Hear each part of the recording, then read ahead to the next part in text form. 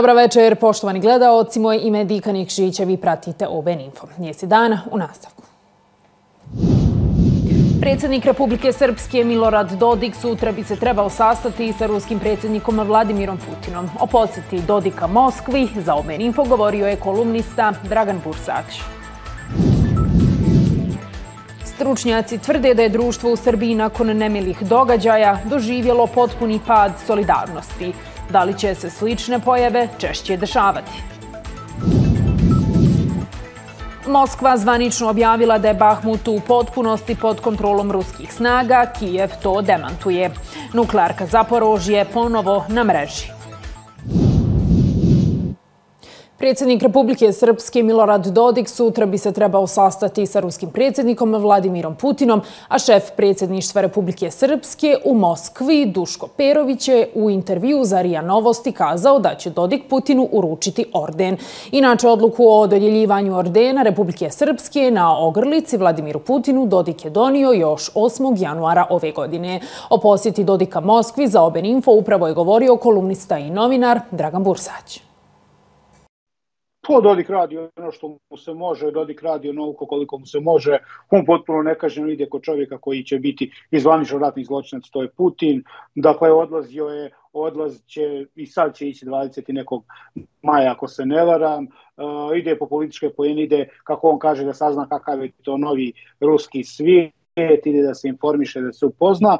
I to je jedna strana koju Dodik radi i koju radio, kažem. E, drugi par rukava je zapravo zašto međunarodna zajednica, prije svega ured visokog predstavnika, onda i ambasade zapadnice malja ne reaguju na takvo ponašanje Milorada Dodika. E, možda im to odgovara, zaista ne znam, to je već pitanje za njih. Ali, kažem, tek Milorad Dodik ne samo da je otvoren Putinov igrač na Balkanu, nego on to svakim svojim gestom, pa i ovom posjetom pokazuje.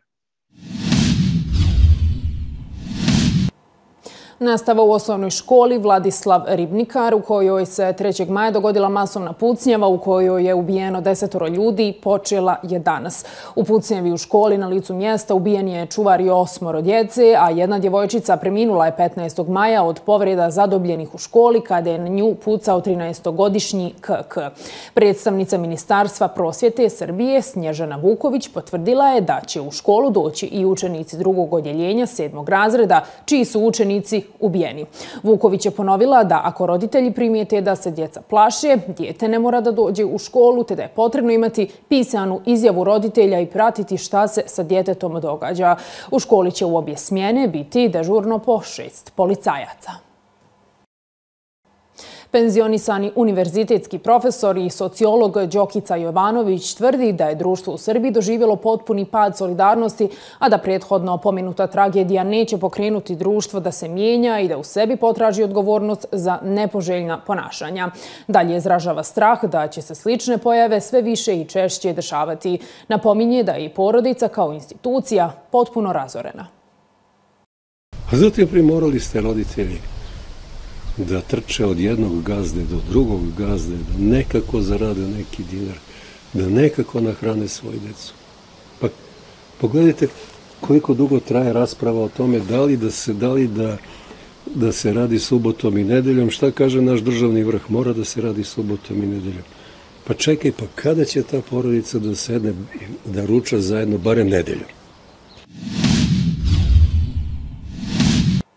Oko 3,4 miliona Turaka koji žive u inostranstvu počelo je sa glasanjem u drugom krugu predsjedničkih izbora. Na Kosovu je završeno glasanje za turske državljane na kojim su se prijavila 2192 birača za drugi krug predsjedničkih izbora koji će se održati u Turskoj 28. maja. Glasačka mjesta bila su otvorena u ambasadi Turske u Prištini i generalnom konzulatu u Prizrenu od 8 do 22 sata.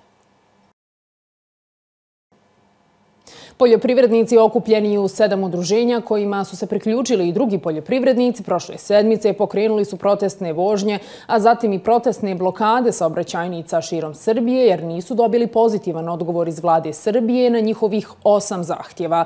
Jednoglasnom odlukom svih udruženja danas će biti potpisani ovjeren sporazum između vlade i udruženja poljoprivrednika inicijative za opstanak poljoprivrednika Srbije.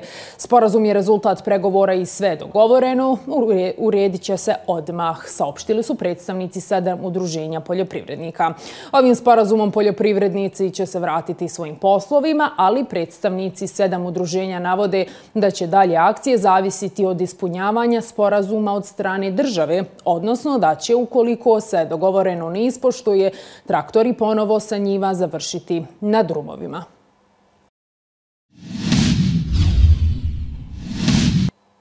Moskva je zvanično objavila da je Bahmut u potpunosti pod kontrolom ruskih snaga, dok Kijev to demantuje uz priznanje da ukrajinske vojnici drže samo beznačajne dijelove grada. Ruski predsjednik Vladimir Putin čestitao je i paravojnoj grupi Wagner i ruskoj armiji na oslobađanju Bahmuta. Navodi svima koji su se istakli biće uručena državna priznanja. Navodi se između ostalog u saopštenju Kremlja. Šef Wagnera rekao je da su njegovi borci ispunili zadatak zauzevši kompletnu teritoriju grada. Kako je dodao svoje pozicije, predaće ruskoj vojsci i otići iz zoni sukoba do 25. maja. Wagner ipak drži zapadne administrativne granice Bahmuta, dok se ukrajinske snage i dalje fokusiraju na protiv napade na rubovima grada.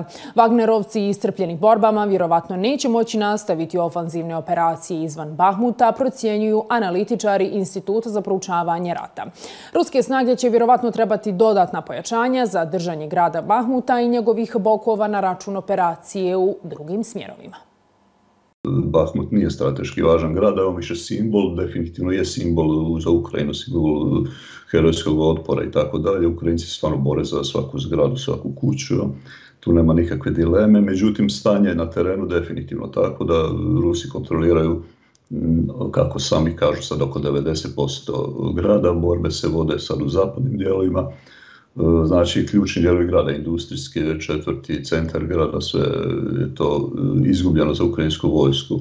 E, međutim, ostaje ta komunikacija, jedna posljednja ta cestovna komunikacija na zapadnoj strani, za koji se upravo vode borbe, preko koje još Ukrajina može primati vojnu pomoć i tako dalje. Međutim, ako znate i u samom Kijevu, ja to dosta pratim, ali nam sad vremena to detaljno reći, postoje te mm, jasne naznake da je, da je to besmisleno braniti više taj grad, jel?